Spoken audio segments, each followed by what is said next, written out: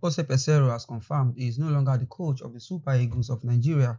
This comes following the expiration of his contract just after the recently concluded 2023 African Cup of Nations. The Portuguese tactician in a series of tweets on his X account on Friday described it as a pride and honor to have coached the Super Eagles. Peseiro, who would be leaving alongside his backroom staff, considered that they would miss the team but will always be there for you. He wrote, Yesterday we concluded our contract with the NFF. It was a pride and honor to coach the Super Eagles. It has been 22 months of immense dedication, sacrifice, emotion, and we felt a sense of fulfillment. We'd like to express our gratitude to Sir Amaju Pinnick, the president who signed us, President Ibrahim Gusau, General Secretary Mohamed Sanusi, Secretary Dayo Enebi, the NFF, all the staff, and especially all the players with whom leading has a great pleasure.